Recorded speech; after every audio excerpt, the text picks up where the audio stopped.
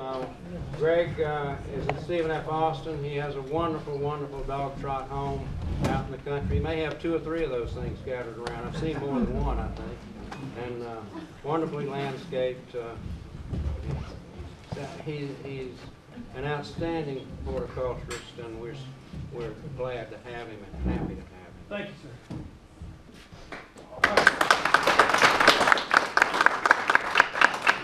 I'm because you sat down, not because I got up. so. All right, last talk of the day. We're going to talk about perennials. I can't remember if Gail assigned this talk or Bud assigned the talk, but somebody did. Perennials are popular in the, all over the world right now. It's, uh, and have been for about 20 years. When I first started working with Extension Service in, in Texas with Bill Welch as one of my mentors, the, the perennial movement was just getting started. And it was kind of funny because uh, nobody talked about perennials in the, in the South. Matter of fact, I was at a program where somebody mentioned perennials, and one of the experts in the room said, perennials don't grow in the South. and, and Bill was the first one to show me that all the perennials that you saw in northern books and magazines and Martha Stewart and that sort of thing, those particular perennials didn't grow here, but there are, of course, hundreds, if not thousands of perennials that grow in the South. And Bill went on to write his perennial garden color book, and I, I learned a lot. And he, but he was the first one to show me, yeah, we got lots of cool things from old things to new things to, to native things that will grow in the South. And so when you travel to Europe, people are always jotting down the name of every plant they see, which is exactly the wrong thing to do. Uh, you can use design from any part of the world, but the plants that they grow in the north and Europe are literally the opposite of what you grow in the south. And so you should write those down to know what not to grow, and go through their trash can or compost pile to know what to grow. It's literally that, that opposite. But the perennial plant movement started there, worked its way to this country, and, and is still popular to this day. Uh, it was pretty much an, an English influence, and uh, English have historically been good gardeners. They were the first to take notice of little poor people's uh, cottage gardens and realize how wonderful they were. At the time, uh, the French rigid formal style was, was popular uh, in Europe and across the, uh, the world. When they started noticing, you had these little country people that had these beautiful yards and didn't do anything to them, and so they, they were taken with this naturalistic, free-flowing, uh, multicolored style in these cottage gardens. And then they got to moving into perennials, and they, they literally took the, the English cottage gardens and hybridized them with French formal Italianate style landscaping and invented what we know as the perennial border today. Basically, rectilinear strips of cottage gardens is, is what they were. And of course, they gave us some other design influences, mostly rebellion against French formal design, so naturalistic landscaping, uh, hands-on gardening, and a lot of our early parks and cemeteries in this country were English style landscaping. Uh, certainly, a lot of today's landscapes need something of any style. Uh, it's been traditional that most people go out there and plant a foundation planting and then just leave it at that. And so, whether it be annuals or perennials or natives, a lot of people could certainly use some spots of color.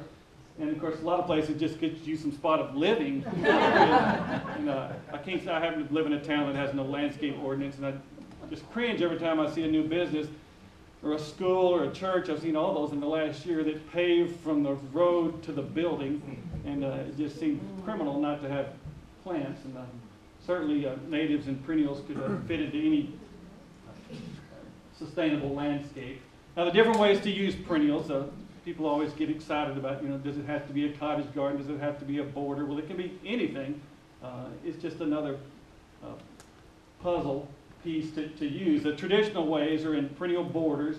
Uh, this is my pharmacist friend in Nacogdoches, Bill Job. So literally, like the English made famous, these strips of a, strips of cottage garden, generally in the rectilinear patterns with a, maybe an edging in the background of a wall or a rock or a fence or something. So that's traditional. This is Bill Welch's uh, uh, mixed border there in College Station on a, on a golf course.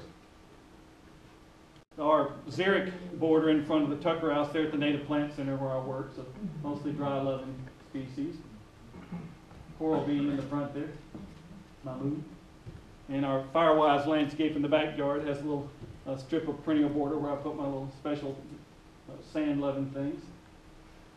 Now, before you get too carried away with the uh, English style of cottage gardening, uh, it helps if you have some sort of a uh, design to your border. So if you just sprinkle some of everything in there, even nature generally doesn't do that. And a lot of us plant geeks are really bad about cramming one of everything under the sun. In fact, Dr. Creech, my boss, is famous for drifts of one, is what he calls it.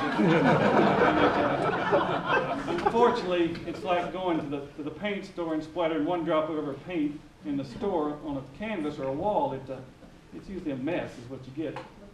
And so, uh, the most famous uh, English perennial garden designers of all time, like Gertrude Jekyll, were famous for using um, masses and sweeps of the same thing. So not one thing, but depending on your size of your border, it could be three, five, seven, fifteen. In other words, big puzzle pieces. Uh, one, because it gives you some more continuity, but also it stands out. A lot of times, one plant from the street or from 100 yards away doesn't even exist. So it may take 12 plants to look like a plant. And so, one thing I learned in art class and Miss Chevalier's class in junior high is that end of the day, every day you go to the back of the room, the room and look at the project you're working on because it looks very different from the back of the room than it did when you're up close. So, up close, you work hard, you pay a lot of money for a plant, you steal it out of somebody's yard while they're not looking. So you, you have so much invested, and it seems like it's a lot. And so when you're up close to it, it looks kind of big, but if you get back from it, it may not even exist. I've done entire uh, flower beds before that I thought were wonderful, and then you got across the street, and you couldn't even see them. So if you can't see it, it's not there. I don't care how much work you put into it. And so uh, grouping some things together, having some masses, having some repetition, which I know people hate to do, but uh, I'm writing a series on landscape design right now for a magazine, and out of my five design principles, I rank repetition the most important of, of all, and it, uh, it helps. People know how to do interior design, they know how to do uh, fashion design. I mean, most people don't laugh at you when you go to work. I'm sorry, I didn't mean to look at you. Floral design, people do a pretty good job of, but we get in the landscape, we just fling stuff everywhere, and it's like if you're cooking and you go to your cupboard and grab some of every ingredient you're having, throw it into an oven, and come back 45 minutes later, there's not going to be a pie waiting there for you. So you need a plan uh, when you're planning, just like you do with anything else. Perennials can be used as bedding plants. Here's Epcot in, uh, in Florida, uh, Ladybird Johnson Wildflower Center with uh, purple cone flower. And so just like you would use any other bedding plant, except it's going to be a permanent planting as opposed to, there are people that change out annuals four times a year in, in beds, which uh, is fine for some people, but uh, for we people that have had surgery in 2003, 2005, 2007, 2010, 2013, 2014, if it gets in the ground now, it's going to stay there. Because uh, if I get down there to try to take it out, I may not get back up. And so uh, perennials by nature come back. And so I used to love changing things out. I mean, I'd plant trees and change them out just because I like doing it. but that should No wonder you have fail. to be. Here's a Turk's cap in a, in a center Texas garden at the uh, History Center in Diboll, Texas with cardinal flower and little blue stem and uh, Gulf muhly grass. Basically used as bedding plants, but uh, perennial native bedding plants. Of course, uh, another popular way to use perennials that I learned from Dr. Welch years ago is spots of color. In other words, you don't have to do a mixed border. You don't have to do entire flower beds. There are a lot of areas in the landscape there's just sort of a little empty spot there. And uh, somebody the other day was asking me, when you're a horticulturist, you get bombarded with questions every day of your life. And what can I plant here? What can I plant here? And a hundred questions. Like, no, don't like that. Wrong color. Ooh, already got that. And so, so this week I said, why do we go through this? I mean, I said, just plant whatever you damn well want to leave me alone. and she, of course, there was a spot there, and there's some evergreen behind it, and I named something. She said, "Well, it needs to be evergreen to go with it." I said, "Well, no. Traditionally, you plant opposite things together. So if you have evergreen here, you might want some deciduous in front of. it. You have coarse textured here, you put something fine textured next to it. If you've got something uh, tall here, I mean, so tr- so people just feed you all this crap, and you know you're going to do what you want anyway. and she said her husband got on her, why'd you ask him if you weren't going to do what he said? And then, she, of course, you know, I got a little, because that's what women do. And she said, I thought, of course, then I got like a why? And she said, well, men do the same. I said, no, we don't ask, we just do it. We don't care if it's wrong. So just leave, I mean, just do it, dude. If that's what you're going to do. I mean, I like doing stuff and tearing it up, so but quit pestering me. Anyway, spots of color, great way to use perennials. There's a What's that Rebecca red maxima. What's that red yucca? Uh, red yucca, which is more of a coral, pink colored. Uh, actually, one of the desert southwest plants that does pretty darn good in, in the southeast as well. Full sun, good drainage. Uh, they actually have a, a brighter red one now called a brake lights, I think. Giant coneflower, Rudbeckia maxima at the Antique Rose Emporium. Uh, this plant is a perfect example of, of what went on with perennials. It's native in the in the south, a fairly small pocket of the south, big highways covered with it in East Texas and parts of Louisiana and Missouri, just to the center of the country there. Well, nobody ever thought of using it here because they saw it on the roadside and just associated it with, it's a weed, why would I want it? Well, it got to be popular in Europe, Holland, Germany, Long Island, finally got down to the southeast. Well, guess where the last place it ever even got to be planted was? Where it came from, just because people see, oh my gosh, I don't want that. We'll go buy a piece of crap at Lowe's, it won't even grow because it's different. And you see something that thrives, and you hear all the, I don't like it because it won't die. Well, you want plants that die? It won't die.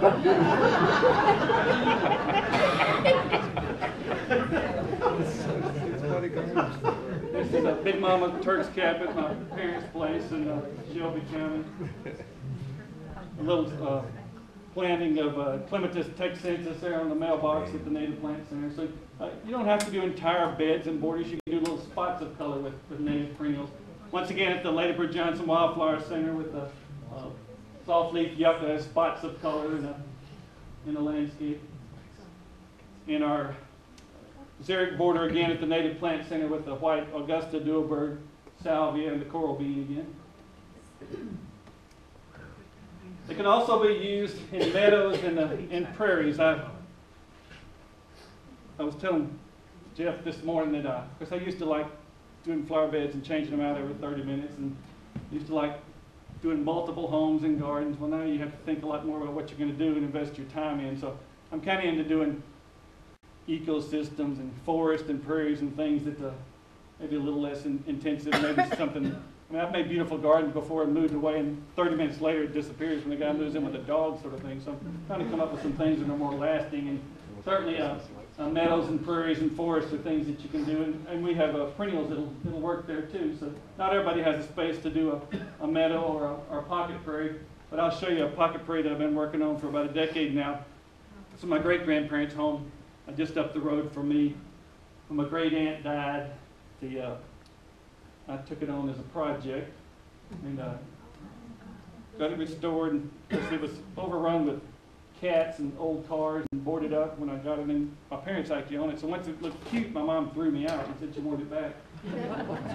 but uh, I spent two years living there. And off to the side, I, I took about a quarter of an acre and I bracketed it off with some old bed frames and made me a a pocket prairie. I call it pocket prairie. My dad calls it the weed patch. And every year he said, "You want me to bush hog that for you?" and so what I do, and oh, this is kind of cool. One single Lupinus subcarnosus popped up on the, on the property, and I saved the seed, and I got an old wagon wheel ring and laid it out there, and poured a bag of play sand from Lowe's down there. And then the next year I had 12, and the next year I had uh, 52, and then 112. And so it's kind of fun watching one of my great grandmother's little bluebonnets come up and making a little stand on them. It's just an annual, not a perennial, but a, uh, a burn in the pocket prairie behind there, and so you, you can't do a, a winter burn on a cool season annual, so that's what separates the little sandy land bluebonnet, which was actually our first state wildflower in Texas before they finally threw up their hands and said any lupin in the state could be a wildflower. Now we have five or six. Most don't even know that. And I was inspired by the roadside. Uh, we have a, it's just a typical little country road, but like anybody else's roadside, they don't care. They're just worried about mowing it. And some years they go through and spray Roundup. And, but there's all these cool wildflowers that I, uh, they either get mowed before they bloomed or they get uh, uh, sprayed. And so I'm out there rescuing these things and moving them to the little pocket prairie there. And so there's Herbertia, uh, that there's tons all around there. The little uh, prairie nymph and uh, spiranthes. You know, prairie phlox, phlox pilosa, Echinacea sanguinea, one of my favorites, and the Carolina blue larkspur. And uh, about the second they start to set seed every year is when the mowers come through. So I'm scurrying out there like a bunny, uh, trying to collect seed with the tractors bearing down on me. And uh, they're pretty darn pretty now without even getting to reseed. I just can't help but think if they wait a month later, how spectacular it would be. Is that a pink and blue spread up and down the roadside? There's a Coreopsis, and uh, it's uh, Penstemon laxiflorus. Grows on some of the dry clay slopes along there. Then I collected, I collected all these seeds and I put them in my little pocket prairie there. The Baptisia alba came from a stand in Cherokee County when I was the county, hor- I don't hold a job very long anywhere, so I was a county horticulturist in Cherokee County for three hundred and sixty-five days. And, uh, collected that one year. I was only staying like two or three months at places and people were starting to whisper, so I said, at least stay a year so it looks okay on the resume. Nobody told me that if your resume was over three pages, that that was a red flag too, so. I won't be getting any other jobs, but I can't.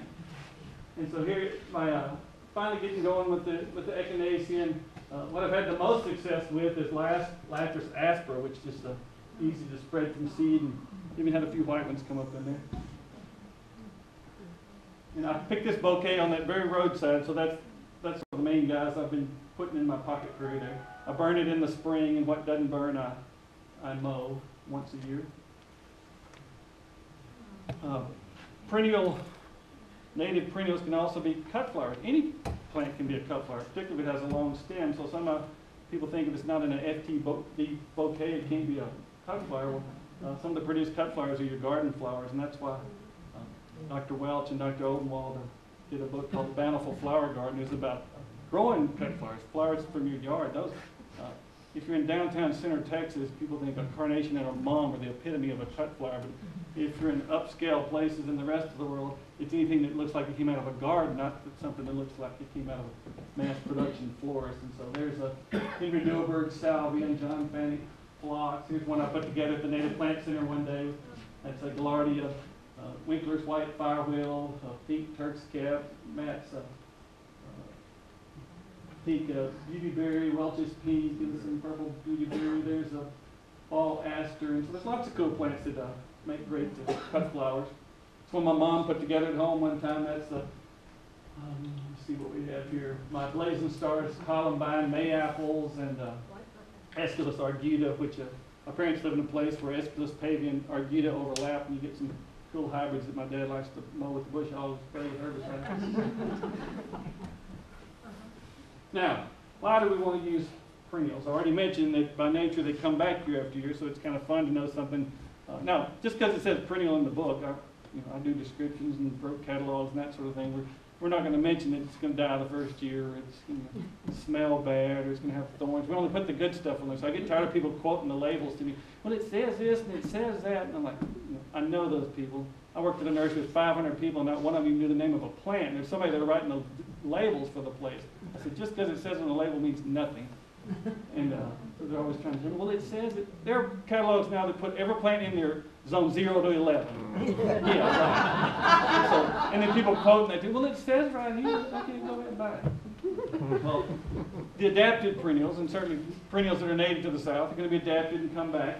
Uh, by nature, they live, and of course, they're specific, site-specific perennials that not everybody can grow, but the majority of the ones we use in landscaping are tough things that are going to live. So, you know, if you get an insect infestation on something, that you can just go through and cut it back. You don't have to get out your chemical arsenal and spray it. And so there are lots of perennials. First of all, I shear regularly all the time to keep them bushy and, and blooming. But if I've got a bug problem, instead of going out there and spraying, I just cut it back and let it flush, flush back out, knowing that it's going to live. Now, you can't do that, you know, if you've got marigolds or petunias and you cut them down to an inch tall, they're probably going to die. So by nature, perennials are, are tougher. I won't say they're necessarily lower lower maintenance, but, but the fact that they're designed to come back year after year makes them an easier choice. So don't have to use as many pesticides. And if you're not using pesticides, because I went to school thinking you'd learn all these magic potions to make everything grow, and that sort of seemed fun for a while, but I mean, there is no magic potion. I mean, you can keep spraying and spraying and spraying, and that's not where the answer. The real answer is being smart enough to know what plants will plant there and grow in spite of you. And so you don't have to spray stuff to, to make it grow. And then as you're spraying stuff, you don't realize you're killing off lots of other things out there. And there are all sorts of cool beneficial insects that'll be out there doing the job for you. So there's a praying mantis snatching somebody out of my uh, peppermint flare hibiscus. There's Mr. Anole doing his job, showing his money, as my grandmother would say. Garden spider, just loved as a kid flinging stuff in there and watching it get wrapped up and sucked dry. And of course, I have a, I love bluebirds, and I'm a lifetime member of the Texas Bluebird Society, and I've got 120 bluebird boxes. Well, first time ever, I mean, you never pay attention, you just think the bluebirds lay eggs, hatch, and everything's fine. Well, you realize that every baby bird of any kind is fed insects and you just put dyes on or dirt's in your yard and your yard's full of rotting, dying insects, you see some bird go pick one up and feed it to your precious little babies there, then suddenly you think, maybe I shouldn't be killing every bug in the yard. And uh, so I use hardly any. And, uh, and first of all, if you have something like fire ants that are atrocious, treat the mound, don't treat the entire property. So everybody thinks that you're just going to annihilate every living thing because every bug is bad. Well, a lot more good bugs than there are bad bugs. And just remember that every baby bird eats a bug. And it doesn't need to be one laden with insecticide. Of course, hummingbirds are insect eaters and pollinators as well. And so perennials, uh, some perennials attract butterflies, some attract bees, some attract hummingbirds. My favorite butterfly of all is the zebra swallowtail. We've got uh, nice stands of, of uh, pawpaws up and down the creeks there, so uh, I get to watch them start in the woods in the spring, and the small guys with kind of greenish white uh, wings and uh, short tails, and each generation gets wider and bigger, and the tails get longer, and they move upland, and by the summertime, they're a big showy thing up in the in the flower bed. That's of course the uh, tuberosa. My second favorite butterfly, of course, it's like flowers. You just pick out the pretty ones and learn those and ignore the little ugly ones. But this is a tiger swallowtail and John Fanick phlox. I'll try to learn one ugly one every year, thank you. Skippers being at the bottom of the list.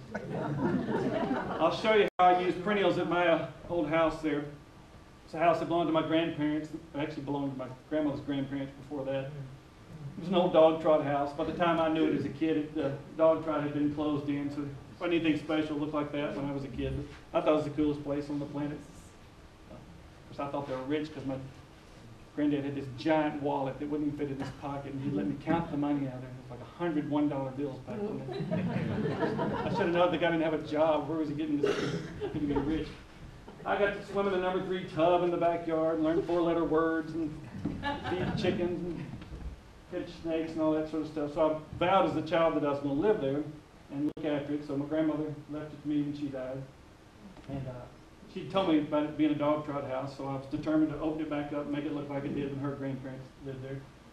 I lived in it about 20 years, uh, just looking basically like it did when, when she was there. And I had all sorts of gardens there. Remember, like changing beds, changing gardens, changing woods.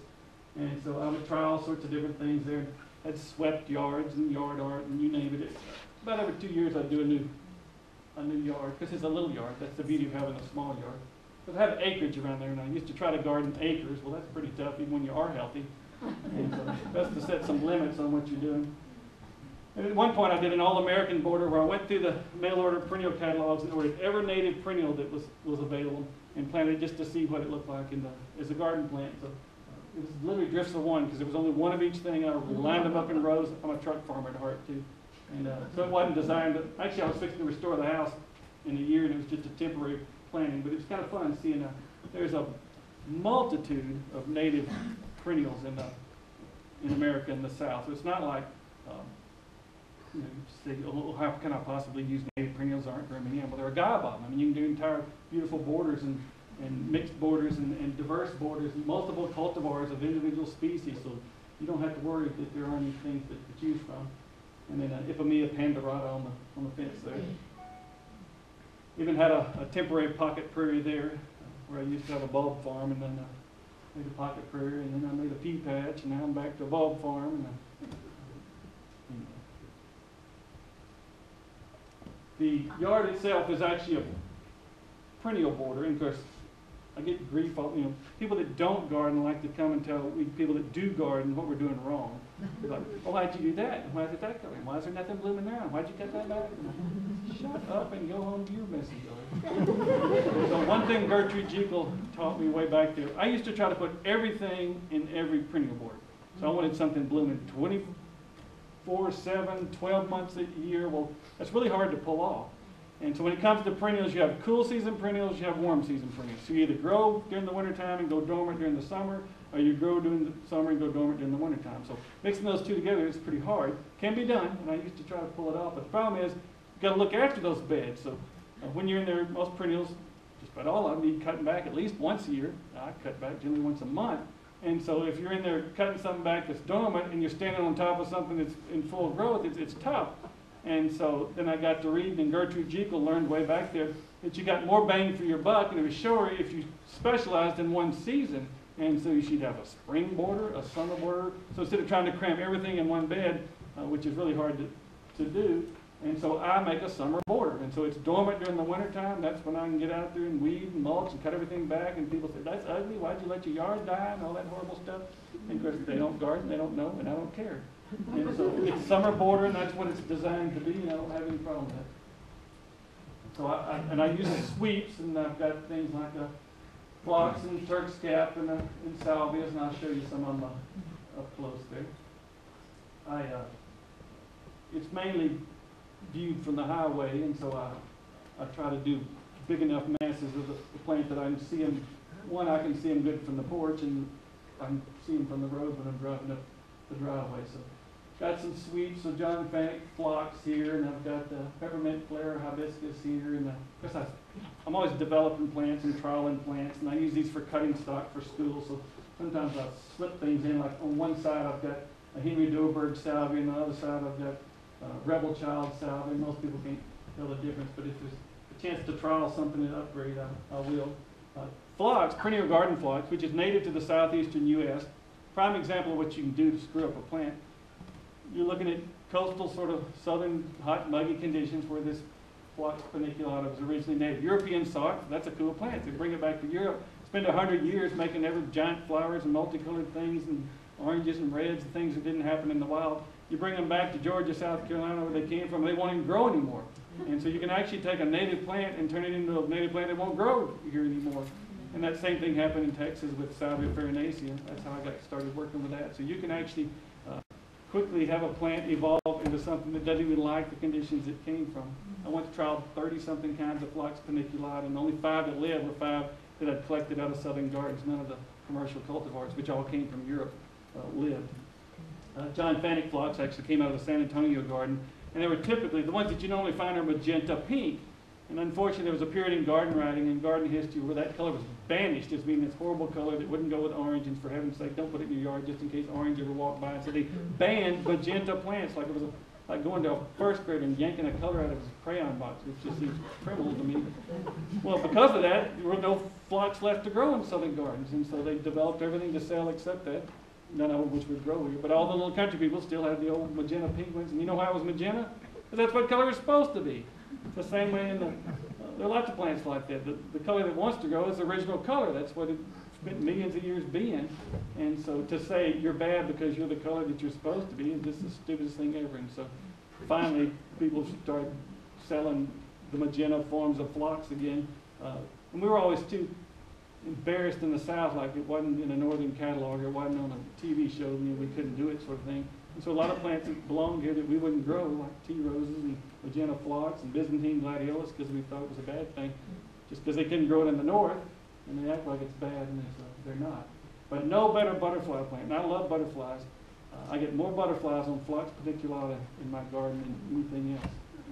Including, I usually rank the verbena family tops with things like Vitex and Lantana and verbena, but right there side by side, uh, phlox, particularly with the big showy swallowtails, will, will outperform them every time. I took this picture with my phone this summer, which was kind of cool on a misty morning, um, looking out across the front, front border there. I've got, uh, started a breeding project years ago with Malvaviscus or, or Turk's cap, and so one side I've got a, a Pam Puryear, and the other side Missy Puryear, which are pretty similar. I'm always comparing different ones. The, essentially, they look uh, the same, trying to get bigger flowers and more compact plants, but no better hummingbird plant than a, than a Malvaviscus, particularly in the fall. And so literally they swarm when it comes to migration time on, on Turk's cap. In fact, the first uh, stock planting I ever had of this plant when I was collecting cuttings, there was a hummingbird dead in a garden spider web in the pink Turk's cap, and so uh, sturdy, sturdy webs. This is a rebel child salvia, which was a seedling in my yard, cross between one called Cedar Hill and my Henry Duelberg. I actually went back to the wild to reselect a salvia farinacea, the same thing, grows in the hill country in Texas, no place else on the planet. You took it to Europe, make a bedding plant out of it, you take it back to the hill country, they bloom in the spring and they wither away during the summertime. but they forgot where they came from. But, uh, it was actually some material that I found in the cemetery in central Texas, so people always, bedding plant companies think what I do is stupid. Of course, they don't have to garden in the south. And if, uh, you know, they bred everything to be these short little compact, compact muffins, which is fine if you're in a mild climate. And they always say, well, your stuff gets too big. And it goes, well, if you're not repairing the damage every day in the south, uh, you're going to die. And so between drought and flood and hurricane and disaster and cows and pigs and drunk relatives, I mean, you literally have to be growing every day. And I'd rather cut something back than watch a six-inch plant wither away and disappear. So a lot of the plants you buy at the nursery now are bred to be a compact plant in the greenhouse and grow no more. And uh, that generally doesn't cut it here. Uh, It'd be nice if it did, but it doesn't. So most of the people that are saying those things have never gardened here. That uh, little salvia in the front there was a uh, salvia azurea seedling uh, that I named Little Boy Blue that was more compact, typically seven foot tall in the, in the wild. Um, Of course, I let old timey reseeding annuals come in there, so if it's an annual I don't have to plant, that's okay. It's a couple of hibiscus that I introduced, peppermint flare on the top, which was a sport of one called flare, with some flecks in it, and then a, one that I bred. I only name plants after people that are dead that I like, and so this bottom one is Jackie Grant, named after my mother, but I didn't name it, a nursery friend of mine did, because it was the biggest, fattest hibiscus she had ever seen. That doesn't sound very flattering. And uh, once a lady wrote me a three-page letter when I worked at Mercer Arboretum in Houston on why I should name a plant after her. She gave all these things, she was president of this, president of that, and done this and done that. And I'm thinking the whole time, she doesn't know my rules. You know, You have to be dead, which you're not, and have to like you, which I obviously don't. I threw it in the trash and never heard from her again. This is a Kosteletzkya, uh, uh, one year I did a breeding, well, for about five years, did a- some breeding work on that, and I named one Cassandra Luce, and this was the sibling to it I selected. This is Peter Luce. And so, And I ain't dead. well, you kind of appeared to be that one time, and so I, I pulled the trigger too fast, and the name was already out there. So. Shady. Dead has different definitions. This is our native little copper lily, Habranthus uh, tubispathus texans. I love bulbs and I love uh, amaryllis. Uh, most of the lilies that we grow in the south aren't lilies. Most of them are in the amaryllis family. And so it's a little diminutive little little rain lily. Blooms after it rains during the summertime. Seeds and naturalized. So it's a cute little thing. Uh, not as showy as all the other rain lilies, but I've always been partial to it. And uh, I planted along with uh, all my other bulbs, oxblood lilies and rain lilies and spider lilies, and uh, it's uh, it's kind of cool because it recedes prolifically and, and it belongs there. So it's a, it's a true true native there. That's my newest little dog, Lizzie. Cute there, but she's a mess now. Of course, they don't have to be in flower beds. Uh, Louisiana iris are great great southern perennials, and this is actually a a rain garden that I have, so it, it collects the runoff from eight acres of my property. And uh, when I first moved back from Baton Rouge, uh, of course, we used to have lots of bald cypress in, in East Texas. Sabine River is named for bald cypress, and the Sabinal River in the hill country, those both came from the Spanish name for bald cypress. Don't have much bald cypress anymore, so I came back with this plan to, to repopulate bald cypress in East Texas. So any place that holds water and dries out in the summer where I can get in there, I go in and plant cypress. So that was my first little little planning when I moved back for, for Baton Rouge. Oh, there's Acer and Ilex in there. This is Acer, he's a good boy, and this, she is a, starts with a B, she's a, Literally. she's, she's deaf, she's a moody, she bites. I ran over with the truck, I slammed her head in the truck door. That explains why she's biting me. Uh, she loves me to death, but she's special, very.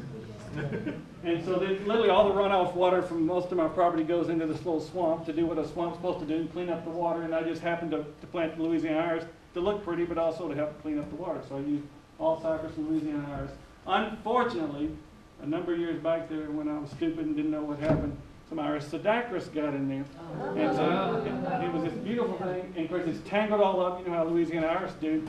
And so I've spent the last year killing all of my Louisiana iris, everybody. And uh, of course, I, I sort of like doing this. Everybody just goes berserk when they see me changing out entire things. And then I'm, I'm going to plant, I love iris fulva. We were talking about this in the bulb world, same thing in the rose world. You start off in love with, like in the rose world, they always say you'd start off with these gaudy hybrid tea roses, and as you get older, you'd move to grandifloras, and then floribundas, then you're fairly ripe in age, you move to antique roses. When you're old man, you got a little five-petaled single thing, you think it's the most delicate thing you've ever seen. Same way with Louisiana iris. I, I love the, uh, the simplicity and the delicate iris fulva, so I'm gonna put nothing but iris fulva in there and along the front.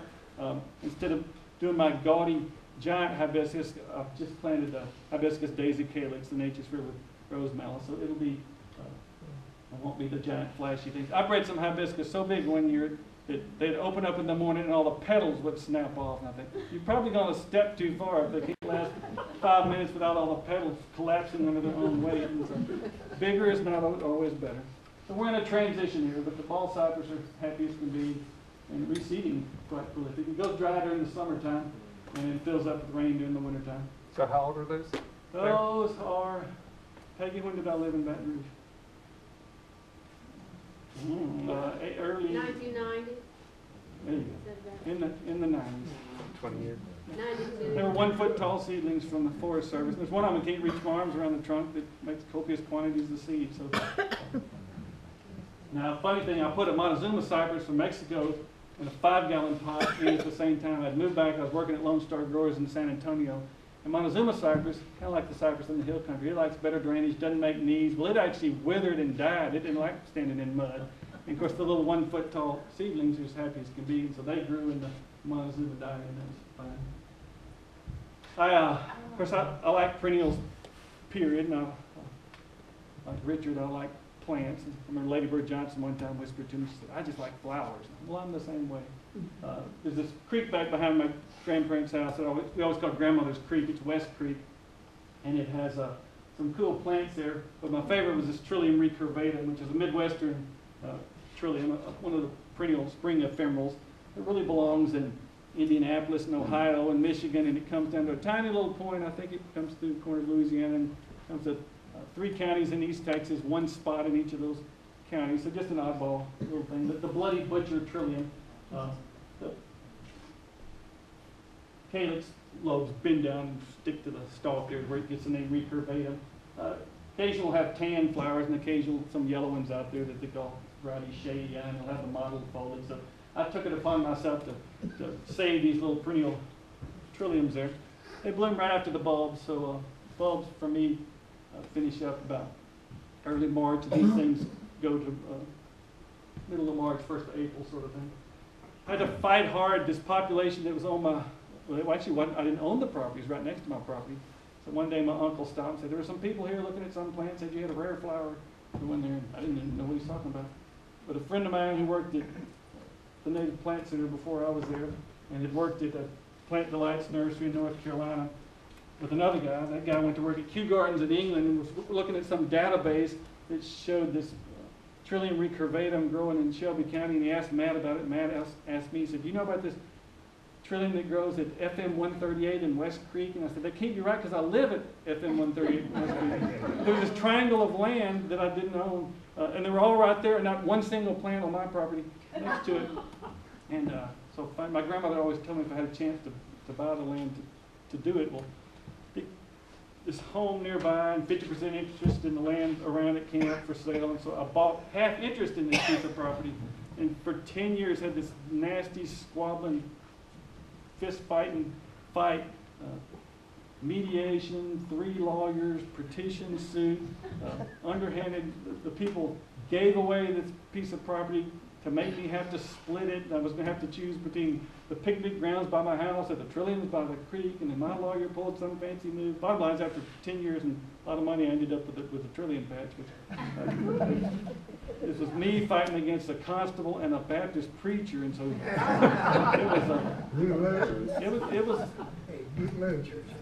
no, I didn't. They didn't know what, they didn't know what they were up against. So, I mean, I was like seventh generation white trash fist fighting hillbilly there, so they, and they lived out of the county, so they, uh, I guess I was smarter than they were too, so we, it was just pure meanness. It was a standoff, but then when it came down to outsmarting them, they got outmaneuvered, so.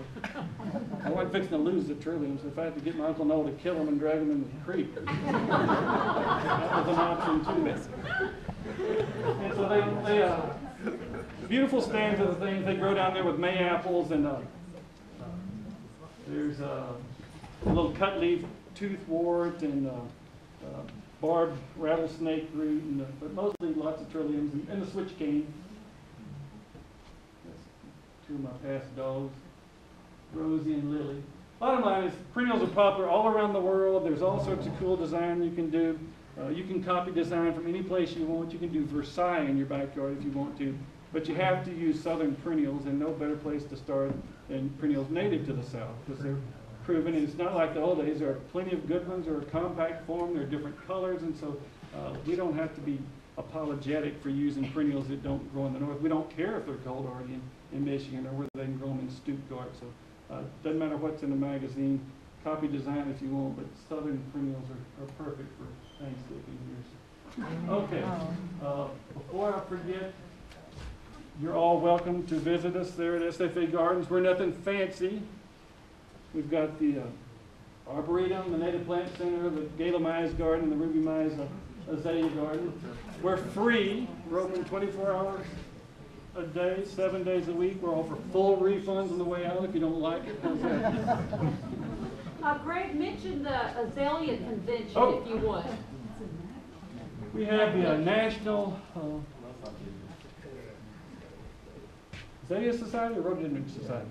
Azalea. Azalea Society is having their national convention in Nacogdoches this year, and it's, uh, hmm, it's late March. If you go to the, the website there, uh, it'll give you the dates and the times. There's tours and the, it's, uh, we have a beautiful, beautiful, now, typical of Dr. Creech, when you see a azalea garden, you picture just a bunch of azaleas. Well, not what Dr. Creech, I mean, that includes several hundred different kinds of Japanese maples, several hundred different kinds of camellias, hundreds of different kinds of hydrangeas, one of every oddball plant he's drug home. And so it's not a one-dimensional garden. Plus, uh, 500 different kinds of azaleas, about a thousand. I mean, it's, it's a spectacle. And I remember when they started that garden, I said, Dr. Creech, there's going to be a day when this is the only garden that's going to